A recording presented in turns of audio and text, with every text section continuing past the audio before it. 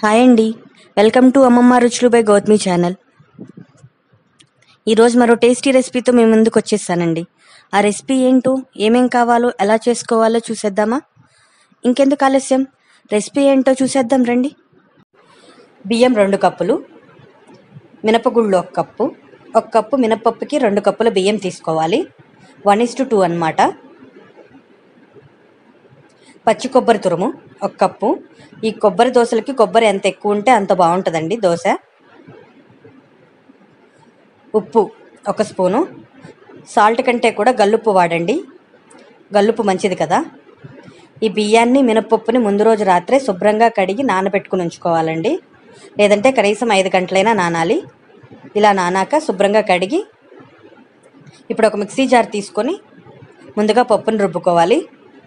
చల్లటి వాటర్ పోసుకొని రుబ్బుకోండి. పిండి మృదువుగా ఉంటుంది. ఇప్పుడు దీన్ని ఒక గిన్నెలోకి తీసుకోవాలి.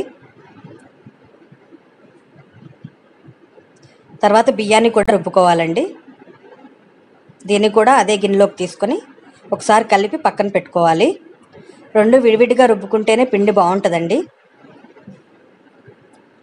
ఇప్పుడు కొబ్బరిలో కొంచెం నీళ్ళు పోసుకొని రుబ్బుకోవాలి.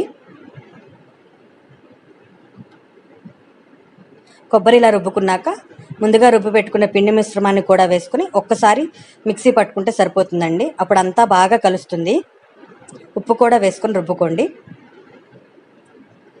ఇలా రుబ్బుకుంటే దోశ వేయడానికి వీలుగా ఉంటుందండి. లేదంటే కొబ్బరి అక్కడక్కడ తగిలి దోశ వేయడానికి అంత వీలుగా ఉండదు. ఇప్పుడు స్టవ్ ఆన్ చేసుకొని ఒక పెనం పెట్టుకోవాలి.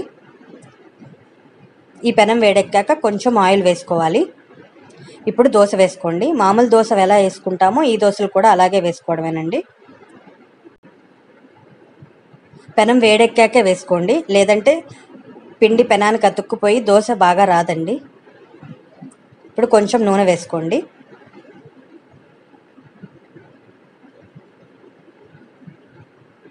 ఈ కొబ్బరి దోశలు చాలా కమ్మగా ఉంటాయండి. వీటిని ఇలా మంచి కలర్ వచ్చే వరకు కాల్చుకోవాలి. ఇప్పుడు రెండో వైపు కూడా తిప్పుకొని కాల్చుకోండి. చూసారా ఎంత మంచి కలర్ వచ్చాయో కొబ్బరి దోశలకి. రెండు వైపులా కాల్చుకుంటేనే దోశ బాగుంటుందండి. దోశ వేగిపోయిందండి. ఇప్పుడు పక్కన పెట్టుకోవడమే. ఇప్పుడు ఇంకో దోశ వేసుకోవడమే. ముందు ఆయిల్ ఏం వేయక్కర్లేదండి. దోశ వేసాక వేసుకుంటే సరిపోతుంది. దీన్ని కూడా రెండు వైపులా కాలేలాగా కాల్చుకుంటే సరిపోతుంది. ఇలా అన్ని దోశలు వేసుకోవడమేనండి. ఈ దోశల్ని పల్లీ చట్నీతో కొబ్బరి చట్నీతో టమాటా చట్నీతో దేంతోనైనా తీసుకోవచ్చండి. అంతే అండి కొబ్బరి దోశలు రెడీ. ఒకసారి ట్రై చేసి ఎలా ఉందో చెప్పడం మాత్రం మర్చిపోవద్దండి.